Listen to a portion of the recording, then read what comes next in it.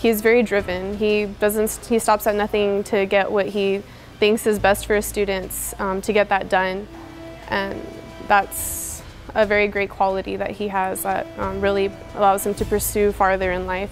He really strives to get his students to perform to the utmost of their potential. Um, he doesn't really allow them to hide away in the classroom. He, he challenges them and he gets, I think he really does get the best out of most, most of the students in his classrooms. he's usually here really early and then he leaves after everybody else does. So he's here and he shows us, he, gives, he leads by example. He shows us like, if you want to succeed, you have to work hard, you're going to have to stay, put in the hours, you have to put in the time. And he exemplifies it every day just by his own actions.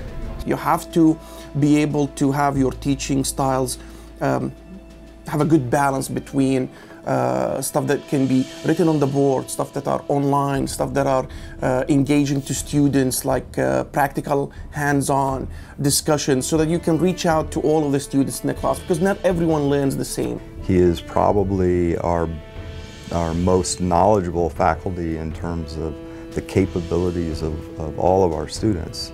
Um, and he assists greatly in connecting students with potential employers. Well, I'd like to say thank you to him for bringing me onto this research project. This project has uh, it's really helped me apply what I've learned in a meaningful and, and concise way. And I think it'll help me a lot whenever it is that I'm looking for a job after I graduate with my master's. Congratulations, uh, a result of your hard work. Keep it up, and we look forward to bigger and better things.